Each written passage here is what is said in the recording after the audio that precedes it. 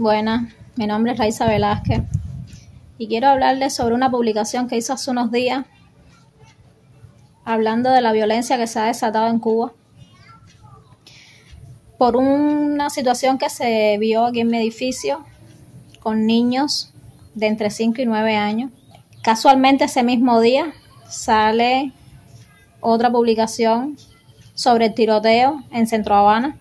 Llamo a capítulo a toda Cuba, porque es que ya no estamos acabando unos a otros. Y nuestra lucha no es entre cubanos, es del pueblo contra este sistema, contra este gobierno. En mi edificio, en mi zona, que es un lugar tranquilo, los niños juegan y realmente nosotros los padres nos confiamos y no los vigilamos.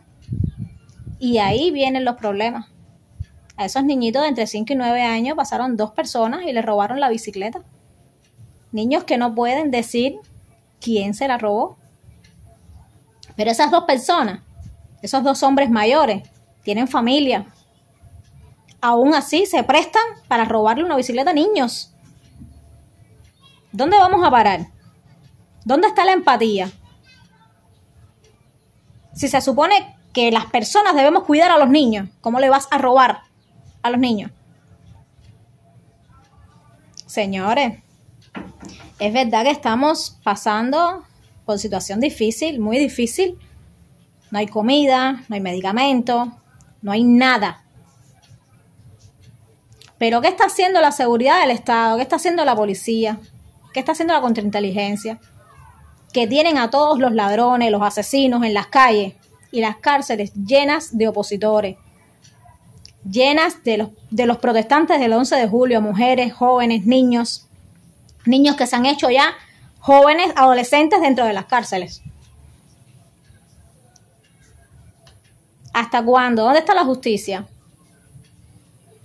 ¿Hasta cuándo va a aguantar el pueblo? Nos estamos matando uno a otro. Tenemos coraje para matarnos unos a otros, pero no tenemos coraje para estar tres días en las calles hasta que esto se acabe. Porque la policía no va a poder con toda Cuba, caballero. Entonces, preferimos matarnos unos a otros, asaltar mujeres, asaltar jóvenes, matar incluso a tu semejante. ¿Por qué? Por un teléfono, por una moto, porque tú no tienes el dinero para comprártelo, vas a matar a otro.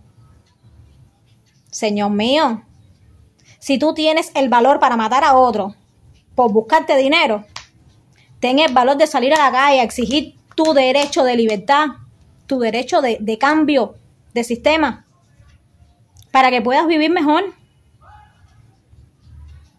¿Hasta cuándo va a ser esto? Son niños, son mujeres, pueden ser tu familia al que le suceda eso en la calle. Hace poco hasta un sacerdote. ¿Qué está haciendo la iglesia? La iglesia que no se ha pronunciado. ¿Hasta cuándo, caballero? Llámense a capítulo. Si tienen valor para enfrentarse unos a otros. El mismo cubano de a pie ¿cómo no van a tener valor para salir y no dejar que toquen a tu, a tu semejante y luchar por tu cambio, por tu derecho? Este sistema ya no da más.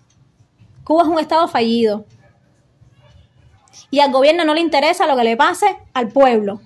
Porque con esta cantidad de, de violencia que se ha desatado, que siempre ha estado, pero ahora se ve más, no hacen nada. Tienen las cárceles llenas de inocentes y la calle llena de delincuentes. Porque es lo que les conviene. Todo el circo este y que nos matemos unos a otros y que no veamos lo que realmente está pasando.